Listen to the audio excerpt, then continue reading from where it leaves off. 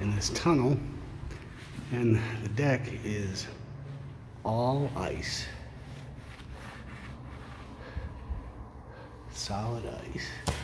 So we're gonna try to make it through without sliding.